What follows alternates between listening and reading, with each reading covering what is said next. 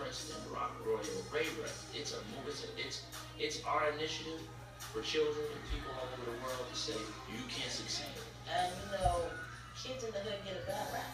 They're expected not to do anything. You know, not only are we creating an opportunity, but we change their lives forever. I think they can go down as the greatest one. I, I really do.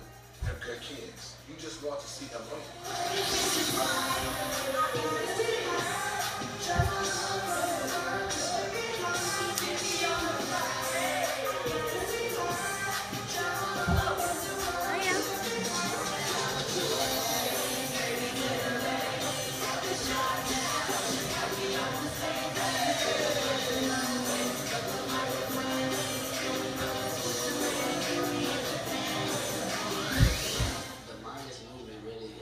Being confident, being yourself.